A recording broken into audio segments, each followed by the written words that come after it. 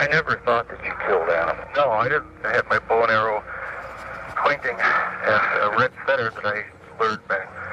But when it looked at me with those limpid Oh. Uh-huh. brown eyes, yeah, such big trusting eyes, I uh-huh. just couldn't do it. No way.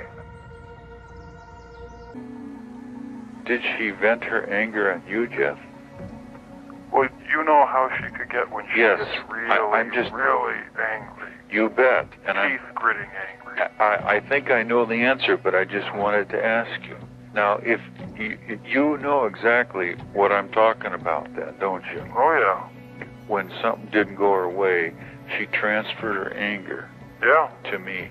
Now, multiply that incident by a thousandfold, and that's what I went through. Yeah, I know. I was living it too. I remember. Yeah. I remember. I don't want to get uh, serious and morbid and all that kind of stuff, you know. Yeah. But I do want to get some things straight, if, I, if it's okay with you. One thing I wanted to share with you. Mm-hmm. Remember that uh, small wooden box? Um, Yeah. You know what was in it, don't you? I, I was so wrapped up in, in what I was doing, and And I want you to know I love you so very much, and I care about you. same here. Okay, Dad. What did you enjoy doing most with me? Uh, tennis, fishing in the pond. Uh, let's see. What did you enjoy least doing with me? Homework. Yeah. You know, that 4-H project was a lot of fun. We both did that. Oh, we used to have fun with the chickens, the, the lambs, and then we used to go on those long hikes with the hiking sticks. yeah, that's right. And all the, all the moths that used to come towards the window, I think we used to catch those. We had quite a collection there. Yeah, that was a lot of fun. Yeah. I just want to see things cool down, and uh, I know. just heard this was a big bang in the head for me too. Well, I, I understand. I understand that. I was really down, and I, will be honest with you. I, I, it, this is not an easy time for me, but I'm not going to cry. You know. I just want you to know that, though, Jeff. Okay. away at work. I mean, out of town. His mother uh, had a lot of mental, emotional problems. She was an alcoholic. Then when did you have fantasies about, uh, when did you think about males? Well, uh, ever since I uh, was active that way. There, I, I don't know why it's that way. All I know is that uh, it's that way for some reason. I don't understand it any more than anybody else. What was the very first fantasy, I was wondering, that you can remember having, which you thought to yourself was kind of odd or disturbing? Uh, the first one I can remember is having an interest in uh, in those dead dogs on the side of the road, cutting open and finding out what's inside of them. So that Was the first that you can remember that you had a fantasy about looking at the inside of uh, Yeah. animal remains? All right, and I graduated to uh, it graduated. You did go cruising around in your bicycle? Yeah. Your road kills? Right. One time I, I stuck that uh, that these skinned dog shit on the on the stake. One of the guys in high school. Mm-hmm. They figured that I had probably done it because it was closest to my property. I am making a parallel with my early childhood. Oh, really? Yeah, I think you'll find it very interesting when I get done with it. Yeah, I hope so. So there are some very interesting parallels.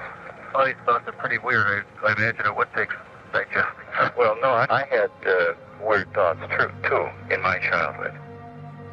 You're just like me, Jeff. I I think they remember the day when she left. It, do you know that damn water pump that kept going on the yes, fridge? yeah, kept getting waterlogged. That happened just before she was about to take off. She was all upset about that. Really, really upset about that. Angry that I couldn't get it fixed. Angry she was that you couldn't delayed. get it fixed. Huh? Yeah, that it was delaying her plan. I finally got it fixed, I think, and then I uh, know. It wasn't one of her better days. Let's put it that way. Was the jogger, um, was he tall or short? He was, uh, I'd say maybe five ten, slender build. Mm-hmm. And uh, did he have hair? Lots of hair? Yeah. Where did you first see him? I was just riding down to the Lawson store and uh, happened to see him, and then I got the idea in my head and waited. And then you got the idea of going back with a bo- with a bat, and you went back once, huh? Yeah, just once. Okay. Once didn't show up. And then he didn't show up. And what? And why did you abandon the idea? After? It was too mo- too dangerous, too much alcohol. And I was just driving back from the mall to uh, have a few beers at home, and he was right there by the by the fire station. That one week when everything was, when the circumstances were all right, lo and behold, what do I see? Just that one time, that one week. Never again did I see anybody like that. It's almost like it was prearranged by someone, huh? It, it's just so weird. I don't know what to think. Someone or something. The series of fantasies later on in life, did they develop? Yeah, over the years they got stronger and stronger, more more uh, uh, uh, oppressive. I guess the word is Yeah. continuous. Couldn't couldn't shake them, and it was just a, a real obsession. I have so many things to tell you, things that I wanted to do differently with you. Right. What's really been puzzling me is how come I just didn't know anything about this. I pretty much was doing things in my own little world. Remember that small one by one square foot box? You know what was in it, don't you? No. The uh, mummified head and the genitals of uh, the last victim at the, at the West Allis station. Oh, I see. Amazingly, all the times that I should have been caught, I never was. Do you think that maybe Satan was involved? The fantasy changed to uh, picking up someone on the road. Uh, a hitchhiker, you know, good looking one. And the hitchhiker you're talking about, that was Steven Hicks, right? Right. Everything just fell into place, and I was able to make the fantasy reality. Yeah. It blows my mind when I think of it. That was your first fantasy. That is uh, the, the fantasy about looking and seeing what's inside of dogs, Right. raccoons, and so forth. Yeah. Uh, was that carried into your conscious life, or was it just in a dream? That was in my conscious life. I went out looking for those things. Or was age 13 when you had, uh, I guess it was a homosexual experience. How did that happen? Was Who initiated that? Uh, we both did, sort of. I don't remember who actually initiated it, but we were both quite comfortable with it. Both of you sort of at the same time initiated it. Yeah. And was it always, uh, It was just light, you know, just kissing and kiss holding. Nothing didn't go beyond that. no masturbation or No. anything? No, not that I remember. And you didn't even think of telling me or, or mom? Hell no. Your personality, which is, you know, loving, kind, you know, the, the side of you which is the greatest side of you. I mean, you know, you, you love us. Right. You you love grandma. You show respect to people. You talk civilly and nicely and respectfully. You don't show any anger. Have you have you done any praying at all to God? Not yet. No, I haven't. Uh, Why do you feel that you haven't? Can I ask that? because it's, uh, I feel that uh, I don't know. I just feel uncomfortable Yeah. because if I fail again, Oh, Yeah. you, oh, but we're all. I'm failing too. yeah, Yeah, all the time I'm failing. I just haven't psyched myself up to, to do to do that yet. Mm-hmm. If you had had any experience, a heterosexual experience at that time of life, I wonder what you would have. I don't know. I don't. I don't desire it now, and I didn't desire it then. You're you're just the love of her life. That right? Oh yeah. That's good. That's right. Yeah. Whenever you used to visit her, when I wasn't there, she'd always be in such a good mood, you know, before you actually came. She was always looking forward to your mood so much. I know. I know. I pretty much was doing things in my own little world. Kept it all to yourself. Yeah. Right? No. Something got terribly out of control nothing got resolved at all. It was just a terrible mixture. Do you think that maybe Satan was involved, or? It was just a real strong driving obsession that became more and more uh, powerful. I, I was so wrapped up in, in what I was doing. Right. I felt I was going to continue doing that for the rest of my life.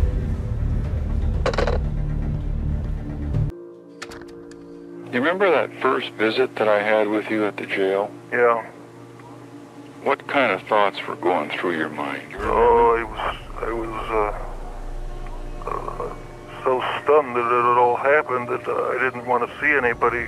Didn't know how the reaction would be. Mm-hmm. Were you thinking about uh, me or Grandma or anything? Everybody, you know, you, Grandma.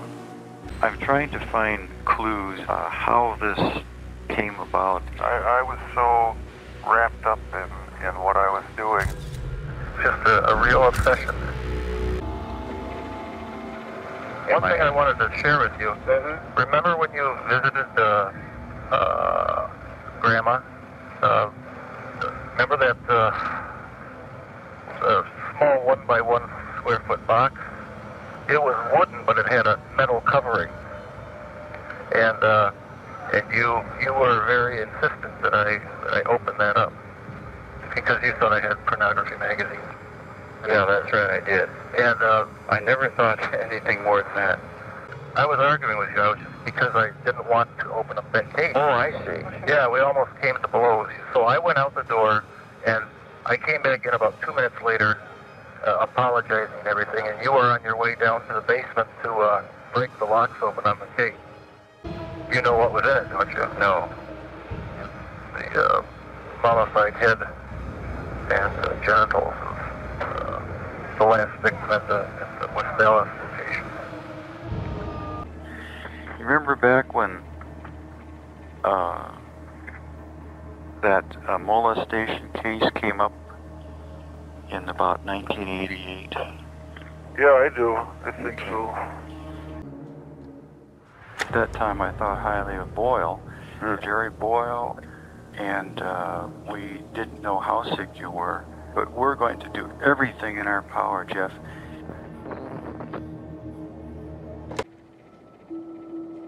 Remember, we I came over to your apartment. I really thought that it was uh, my my impression was very clean and neat. We were impressed. I did go in his apartment. Can you talk freely there? Mm-hmm. Okay. Do you remember ever me participating with Bones when you were interested in Bones? No. And were we eating chicken one time and you asked what would happen if we bleached the bones? No. Okay. So I never participated, so to speak, in, you know, putting bleach in a pail No. and working with bones. No. Did I ever describe anything to you? Not that I can Not, recall. not that there's anything wrong with that, because that could be just scientific curiosity, you know? No, nothing that I remember. I pretty much was doing things in my own little world. Kept it all to yourself. Yeah. One thing I was uh, wondering about that fish tank of yours. Yeah. Were, were there Siamese fighting fish in there? No, no. All I had in there was uh, African cichlids. And they were, uh, you kind of like those? You kind of fascinated by those? Yeah, they act like miniature dolphins. They have real personality. When you say they had a personality, what do you mean? Oh, I mean, they interacted with you. They take food out of your hand. They, Oh, you're kidding. they'd look at you. They they knew when you were in the room, and they'd get excited, and they'd you know happily swim back and forth. That's amazing. That was kind of like uh, uh, your pets welcoming you home. Right. Yeah, it was something that was fun to come home to and Uh-huh. feed them in the morning and evening. And I had everything. I had the water chemistry so perfect. Uh, it was incredible.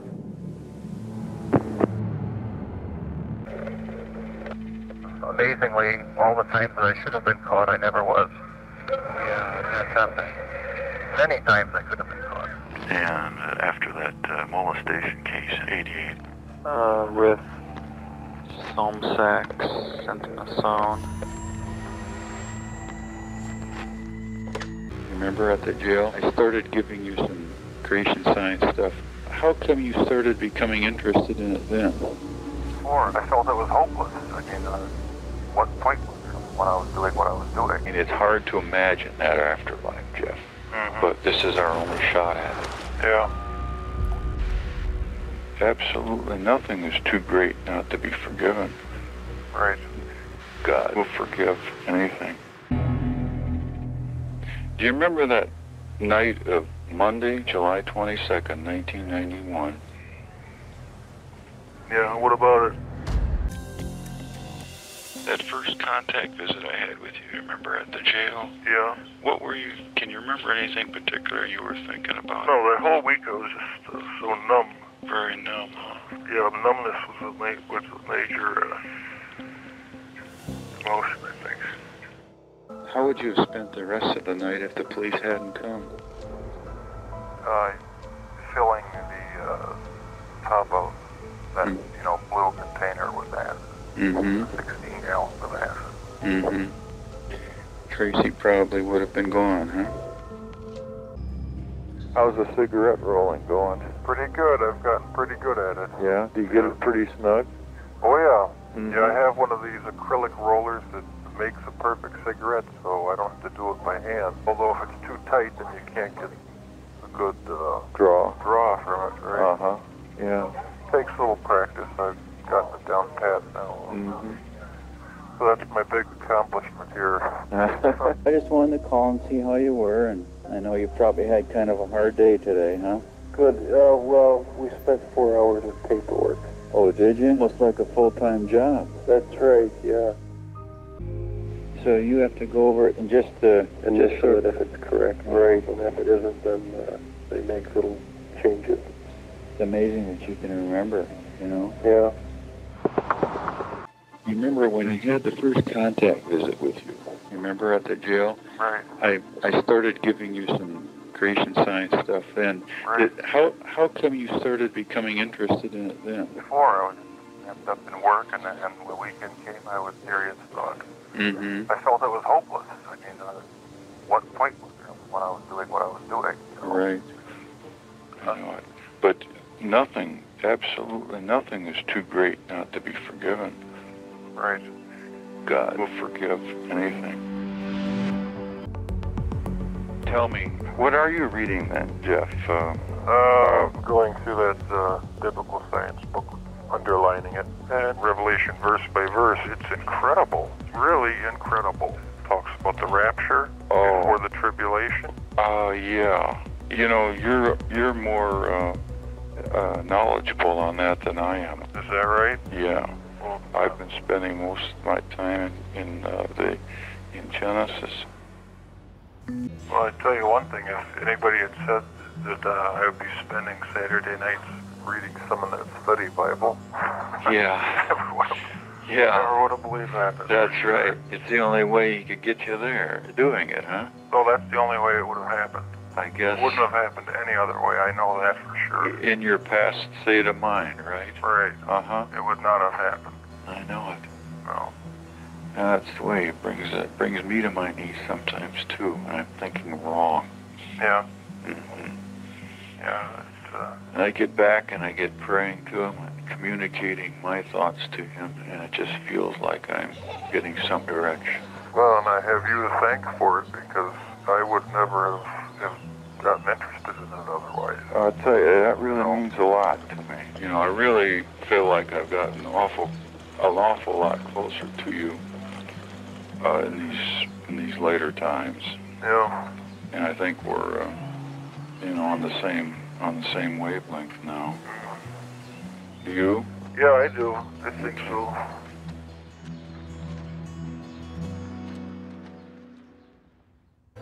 You have you have the attention of a lot of people, so that will be a perhaps a tool that has been put into his hands. Yeah. You know, you don't you just don't know what his plans are, but you will. Jeff, tell me about you know, have you really thought of suicide again? Or are you No. Okay, good. Don't don't just put that out of your mind because that won't solve it. That'll make a bigger problem for you in the afterlife. Right. I mean, it's hard to imagine that afterlife, Jeff. Mm-hmm. But this is our only shot at it. Yeah. And you're you will do something. I mean, he has something in mind for you. You don't know what yet. I keep hearing that from people writing letters and everything. But I wonder if it's just wishful thinking or what, you know. Do you know how long it'll be before you're in general population? No, that's up to the warden. Hmm. I have no idea. I can't make any predictions. Yeah. I mean, no one has told you anything. No, they say things and then then it ends up that they change it. So they're what they say is unreliable around here. Yeah. The Shouldn't ward be too much longer. shouldn't be. I hope not. Here's Okay, love you, buddy. Keep, keep your spirits up and and just keep on reading and thinking and Yeah. Okay? Okay. Okay. Bye bye. Bye. I, I really miss him. He's in the last year he's turned around completely. 哦